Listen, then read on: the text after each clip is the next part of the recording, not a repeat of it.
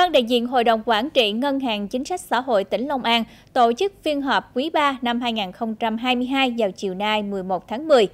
Phó Chủ tịch Ủy ban Nhân dân tỉnh Long An Phạm Tấn Hòa, trưởng ban đại diện Hội đồng Quản trị Ngân hàng Chính sách Xã hội chủ trì phiên họp.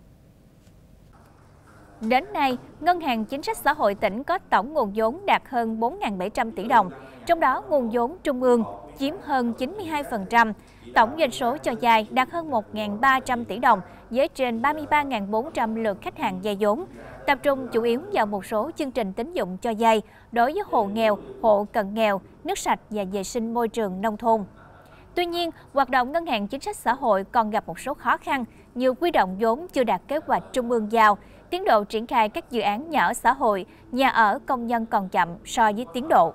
Phát biểu chỉ đạo tại phiên họp, Phó Chủ tịch Ủy ban Nhân dân tỉnh Phạm Tấn Hòa đề nghị Ngân hàng Chính sách Xã hội tiếp tục rà soát các chỉ tiêu, nhiệm vụ được giao trong năm để có giải pháp thực hiện hoàn thành, đặc biệt là chỉ tiêu tăng trưởng nguồn vốn quy động và chỉ tiêu tăng trưởng dư nợ chương trình nhà ở xã hội.